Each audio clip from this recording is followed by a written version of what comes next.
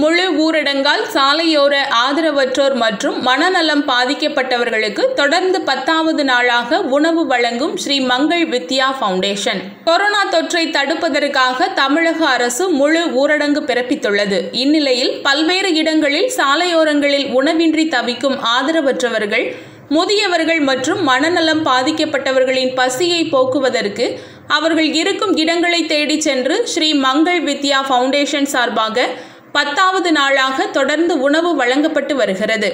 இதற்கான ஏற்பாட்டினை நிறுவன தலைவர் ராகுல் தலைமை தலைமை ஒருங்கிணைப்பாளர் பாலா பிரேம்நாத் முதன்மை செயலாளர் சிவசங்கர் செயலாளர் ரவிச்சந்திரன் அமைப்பு செயலாளர் பார்த்திபன் சட்ட ஆலோசகர் அருள் மற்றும் பொருளாளர் சுகுமார் ஆகியோரின் குடும்பத்தினர் செய்திருந்தனர்.